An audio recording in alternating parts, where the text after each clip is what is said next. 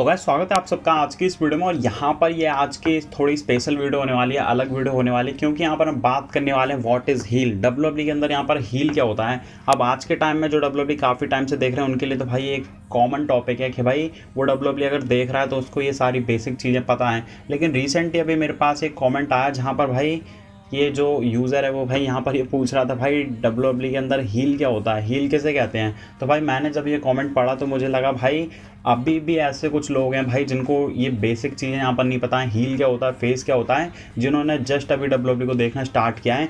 अभी जो ऑडियंस यहाँ पर कनेक्ट हो रही है डब्ल्यू से, उनको यहाँ पर ये बेसिक चीज़ों के बारे में पता नहीं है। हालाँकि हम तो काफ़ी टाइम से देख रहे हैं, बहुत सारे लोग हैं जो बहुत टाइम पहले से डब्ल्यू को देख रहे हैं तो उनको इन सारी चीज़ों के बारे में पता है। लेकिन यहाँ पर ये वीडियो उन लोगों के लिए जिन्होंने अभी जस्ट डब्ल्यू को देखना स्टार्ट किया है तो हील यहाँ पर क्या होता है, इस वीडियो के अंदर मैं आपको बताने वाला हूँ, कोई बड़ा टॉपिक नहीं है, बड़ी वीडियो यहाँ पर नहीं बनेगी, क्योंकि बहुत ही यहाँ पर ये छोटा सा टॉपिक है। और रिसेंटली क्योंकि अभी ब्रॉक लेसनर का हील टर्न हुआ तो उसी के बाद भाई ये टॉपिक यहाँ पर उठाए कि हील होता क्या है। तो इस वीडियो के अंदर मैं आपको यही बताने वाला हूँ, और ये काफ़ी छोटा टॉपिक है तो इस वजह से मैं चाहूँगा कि आप इस वीडियो को लाइक करो, क्योंकि यहाँ पर ऐसे टॉपिक्स पर कोई वीडियो बनाता नहीं है। तो अगर मैं ये वीडियो बना रहा हूँ, आप इस वीडियो को चाह रहे हो तो एक लाइक तो आप यहाँ पर कर ही सकते हो। तो यहाँ पर मैं एम करता हूँ कि हंड्रेड लाइक आप यहाँ पर इस वीडियो को कर दोगे तो मुझे काफ़ी अच्छा लगेगा। और फ्यूचर में अगर आपको ऐसी कोई छोटी छोटी चीज़ें नहीं पता तो उसकी भी यहाँ पर मैं वीडियो बना दूँगा।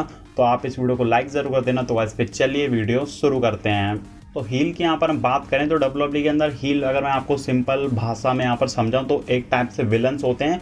मूवीज़ के अंदर आपने देखा होगा कार्टून्स के अंदर आपने देखा होगा, जो भी आप देखते हो तो एक हीरो होता है और एक विलन होता है। तो डब्ल्यू के अंदर यहाँ पर जो विलन्स होते हैं, जो बुरे लोग होते हैं, उनको यहाँ पर हील बोला जाता है हील सुपरस्टार्स बोला जाता है और जो अच्छे होते हैं, उनको फेस सुपरस्टार बोला जाता है। तो अभी रिसेंटली यहाँ पर हमने देखा कि ब्रॉक लेसनर का यहाँ पर हील डन हुआ, जब उन्होंने कोडी रोड्स के ऊपर अटैक कर दिया तो उसी के बाद यहाँ पर ये कॉमेंट आया था और उसी के बाद ये टॉपिक उठाए कि भाई यहाँ पर हील होता क्या है? तो हील यहाँ पर यही होता है डब्ल्यू के अंदर। यहाँ पर जो विलन्स होते हैं, उनको यहाँ पर हील बोला जाता है। यानी कि भाई वो फेस सुपरस्टार की तरह नहीं होता है ऐसा नहीं कि उनको चेयर से मतलब है क्राउड से मतलब है, उनको इन सारी चीज़ों से कोई मतलब ही नहीं है। चाहे उनको कैसा भी रिएक्शन मिले फैंस उनको बू कर रहे हो, लेकिन उनको अपना काम करना है, किसी को उनको मारना है तो वो मारेंगे, उनको रिएक्शन यहाँ पर चाहिए नहीं, कुछ भी यहाँ पर करो। तो एक टाइप से जो विलन होते हैं डब्ल्यू के अंदर, उनको यहाँ पर हील बोला जाता है। कोई यहाँ पर ये बड़ा टॉपिक नहीं है कॉमन सा टॉपिक है, लेकिन जिन्होंने अभी डब्ल्यू को देखना स्टार्ट किया है, उनको यहाँ पर ये बेसिक चीज़ें पता नहीं है तो उन्हीं के लिए यहाँ पर ये वीडियो है। तो भाई, ये था ये टॉपिक और यहाँ पर ज़्यादा इस वीडियो को लंबा करेंगे नहीं, क्योंकि यहाँ पर बताने के लिए कुछ और नहीं है।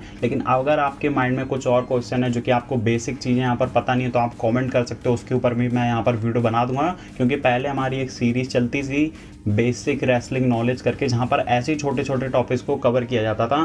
तो अगर आपके माइंड में भी ऐसा कोई छोटा टॉपिक है जिसको जिसके बारे में आपको नहीं पता हो तो आप यहाँ पर पूछ सकते हो। उसके ऊपर यहाँ पर वीडियो आ जाएगी। बाकी ये वीडियो पसंद आई हो तो इसको लाइक ज़रूर कर देना। और तब तक के लिए ध्यान रखें अपना अपने परिवार के। तब तक के लिए मैं कहता हूँ गुड बाय